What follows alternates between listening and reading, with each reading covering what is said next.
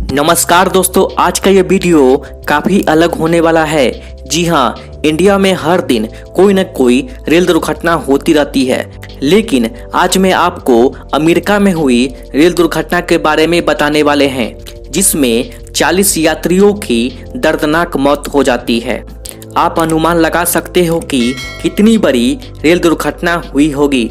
दोस्तों, इतनी बड़ी रेल दुर्घटना कैसे हुई और किसकी लापरवाही से 40 यात्रियों को अपनी जान गंवानी पड़ती है।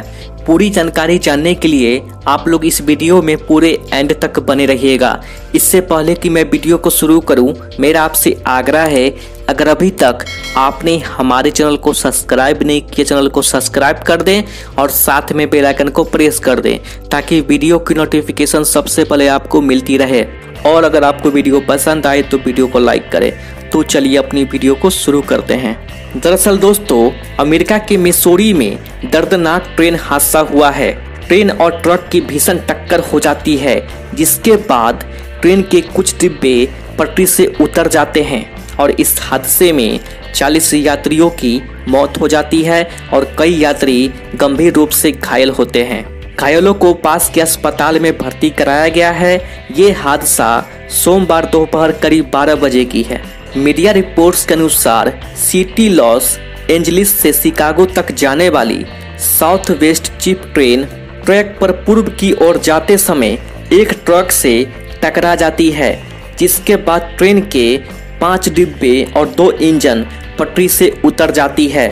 लॉस एंजलिस से शिकागो जा रही ट्रेन में 250 लोग सवार थे, जिसमें 40 लोगों की मौत हो जाती है और कई यात्री घायल हो जाते हैं। बताया जा रहा है कि मेन डेन शहर की क्रॉसिंग के पास ये हादसा हुआ है। लोगों को बचाने के लिए रेस्क्यू ऑपरेशन लगातार जारी है। तो दोस्तों, इस वक्त की सबसे बड़ी खबर यही है कि अमेरिका के मिसोरी में एक दर्दनाक हादसा हुआ है, जिसमें 40 यात्रियों की मौत हो जाती है। तो दोस्तों, अमेरिका में हुए इस हादसे के बारे में आपकी क्या राय है? आप नीचे कमेंट बॉक्स में ज़रूर बताएँ। आज के लिए बस इतना ही। फिर मिलते एक नए वीडियो में एक नई जानकारी के साथ। तब तक के लिए जय हिंद बंदे मातरम।